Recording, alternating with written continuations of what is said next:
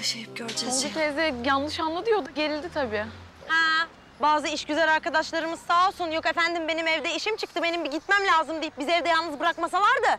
Ah, sen de bir karar ver. Kardeşliğine kızıyorsun, evde yalnız bırakana kızıyorsun. Kes. Ya Sevil, bak ben Songül teyzeyle konuşayım.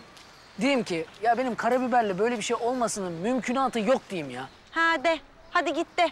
Hatta benim askerlik arkadaşım de. Nasıl yani? E şey, Sevil şey demek istedi. Şimdi Songül teyze eve geldiğinde zaten olayı bütün çıplaklığıyla gördü ya. Bir şey fayda etmez dedi. Kim kimi çıplak gördü kızım? Biz kardeş kardeş oturuyorduk orada ya Allah Allah. Ama haklı kadın. Yani ben oraya gelmeseydim böyle bir şey olmayacaktı. Ay, Sen de Sevil'i özleyip gelmedin ki biz çağırdık. Aman nerede? Yani ner- nereden çıkarıyorsun canım öyle şeyleri? Kimsenin yüzünden bir şey olduğu yok. Benim annemin öyle saçmalamaları işte. Ee, peki, bir şey söyleyeceğim. Bir fikir geldi aklıma. Şöyle, şöyle yapsak, Songül teyzeye gidip konuşsak. Desek ki Mert'le Sevil arasında hiçbir şey olmaz. Zaten Mert'in sevgilisi var falan desek yani. Olabilir.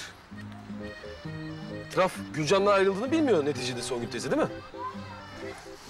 Şey, biliyor olabilir ya. Duymuştur belki bir yerden. Hmm, duymuştur belki. Kimden acaba? Salça ya. Kardeşim bu durumda en kısa zamanda sana bir tane sevgili yapmamız lazım. Tamam eğer şey olacaksa benim faydam olacaksa ben ol- olurum.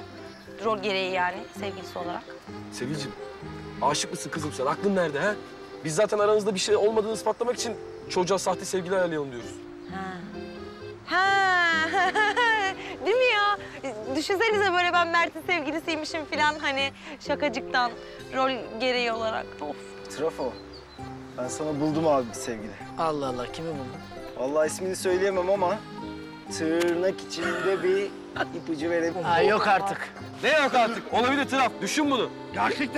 Teyze ya